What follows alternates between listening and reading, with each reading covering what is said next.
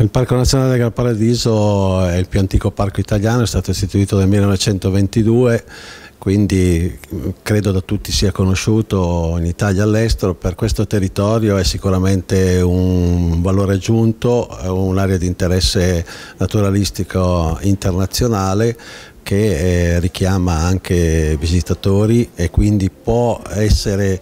un elemento importante per lo sviluppo sostenibile del territorio di riferimento. Con la città metropolitana oggi e prima con, con, la provincia il parco ha sempre attivato delle collaborazioni eh, importanti per lo sviluppo del suo territorio che sono legate sia